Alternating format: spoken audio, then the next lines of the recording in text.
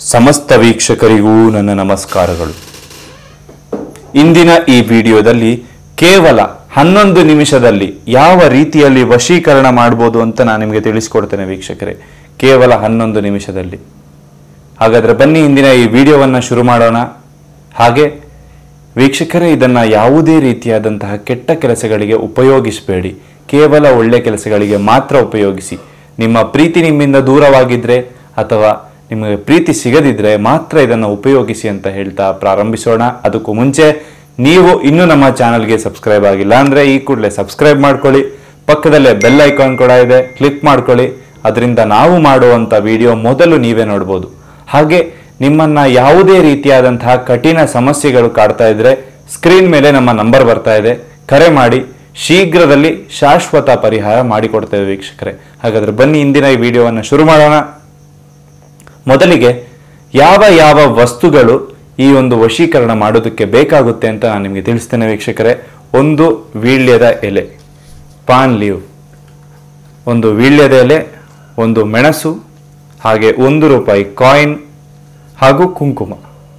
ಕೇವಲ ಈ ನಾಲ್ಕು ವಸ್ತುಗಳನ್ನು ಇಟ್ಟುಕೊಂಡು ಕೇವಲ ಈ ನಾಲ್ಕು ವಸ್ತುಗಳನ್ನು ಇಟ್ಟುಕೊಂಡು ನೀವು ಯಾವ ಸ್ತ್ರೀ ಅಥವಾ ಪುರುಷನನ್ನು ವಶೀಕರಣ ಮಾಡ್ಕೋಬೇಕು ಅಂತ ಇರ್ತಿರಲ್ಲ ವೀಕ್ಷಕರೇ, ಅವರು ಹಂಡ್ರೆಡ್ಗೆ ಹಂಡ್ರೆಡ್ ಪರ್ಸೆಂಟ್ ನಿಮ್ಮ ವಶ ಆಗ್ತಾರೆ. ಹಾಗಾದರೆ ಬನ್ನಿ, ಹೇಗೆ ಅಂತ ನಾನು ತಿಳಿಸ್ಕೊಡ್ತೇನೆ. ಮೊದಲು ಒಂದು ಎಲೆಯನ್ನು ತೆಗೆದುಕೊಂಡು ಅದನ್ನು ಸವರ್ಕೊಳ್ಬೇಕು ಆಗ್ತದೆ ವೀಕ್ಷಕರೇ. ಅದರಲ್ಲಿ ಯಾವುದೇ ರೀತಿಯಾದಂಥ ತೂತುಗಳಾಗಲಿ ಕಲೆಗಳಾಗಿ ಇರಬಾರ್ದು. ನೋಡ್ಬೋದು ಎಷ್ಟು ನೀಟಾಗಿದೆ ಈ ಎಲೆ ಅಂತ. ಹಾಗೆ ಒಂದು ಮೆಣಸನ್ನು ತೆಗೆದುಕೊಳ್ಬೇಕು.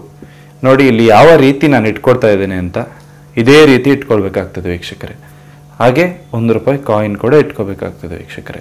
ನಂತರ ಈ ಒಂದು ಮಂತ್ರವನ್ನ ನೂರ ಎಂಟು ಬಾರಿ ಶ್ರದ್ಧಾಭಕ್ತಿಯಿಂದ ಪಠಿಸಬೇಕು. ನೀವು ಯಾವ ಸ್ತ್ರೀ ಅಥವಾ ಪುರುಷನನ್ನ ವಶೀಕರಣ ಮಾಡ್ಕೋಬೇಕು ಅಂತ ಅವರ ಅವರನ್ನ ಮನಸ್ಸಿನಲ್ಲಿ ನೆನೆಸಿಕೊಂಡು ಭಕ್ತಿಯಿಂದ ಈ ಒಂದು ಮಂತ್ರವನ್ನ ಕೇವಲ ನೂರ ಎಂಟು ಬಾರಿ ಪಠಿಸಬೇಕಾಗ್ತದೆ ವೀಕ್ಷಕರೇ. ನೂರ ಎಂಟು ಬಾರಿ ಪಠನೆ ಮಾಡಿದ್ರೆ ಅವರು ನಿಮ್ಮ ವಶ ಆಗೋದ್ರಲ್ಲಿ ಯಾವುದೇ ಡೌಟ್ ಇಲ್ಲ. ಹಾಗಾದ್ರೆ ಬನ್ನಿ ಹೇಗೆ ಅಂತ ನಾನು ಈ ಮಂತ್ರವನ್ನು ತಿಳಿಸ್ಕೊಡ್ತೇನೆ.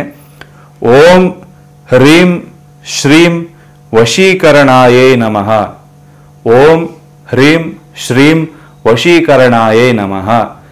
ಒಂದು ಒಂದೊಂದು ಬಾರಿ ಹೇಳಿದಾಗ್ಲೂ ಒಂದೊಂದು ಬಾರಿ ಕುಂಕುಮವನ್ನು ಹಾಕೋಬೇಕಾಗ್ತದೆ. ಓಂ ಹ್ರೀಂ ಶ್ರೀಂ ವಶೀಕರಣಾಯೇ ನಮಃ. ಓಂ ಹ್ರೀಂ ಶ್ರೀಂ ವಶೀಕರಣಾಯೇ ನಮಃ ಅಂತ ನೂರ ಎಂಟು ಬಾರಿ ನೀವು ಜಪಿಸ್ಕೋಬೇಕಾಗ್ತದೆ ವೀಕ್ಷಕರೇ.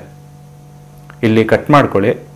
ಕಟ್ ಮಾಡಿಕೊಂಡು ಈಗ ಪೂಜೆ ಆಗಿದೆ ಅಂತ ನೂರ ಎಂಟು ಬಾರಿ ಅರ್ಚನೆ ಆಗಿದೆ ಅಂತ.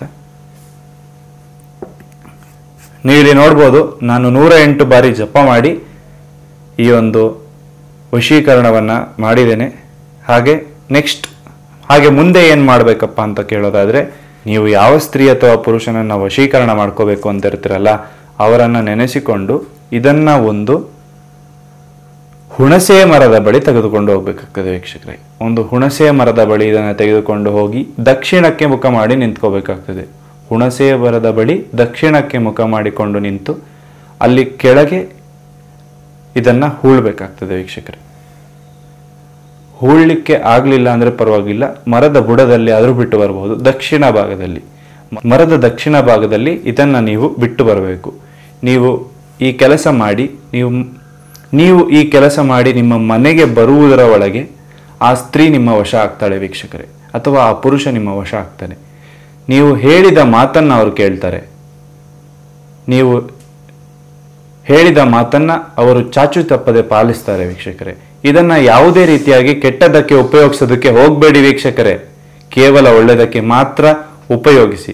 ಇದನ್ನ ಕೇವಲ ಒಳ್ಳೆಯದಕ್ಕೆ ಮಾತ್ರ ಉಪಯೋಗಿಸಿ ಅಂತ ಹೇಳ್ತಾ ಈ ವಿಡಿಯೋವನ್ನು ಮುಗಿಸೋಣ. ಅದಕ್ಕೂ ಮುಂಚೆ ನೀವಿನ್ನು ನಮ್ಮ ಚಾನಲ್ಗೆ ಸಬ್ಸ್ಕ್ರೈಬ್ ಆಗಿಲ್ಲ ಅಂದರೆ ಈ ಕೂಡಲೇ ಸಬ್ಸ್ಕ್ರೈಬ್ ಮಾಡ್ಕೊಳ್ಳಿ.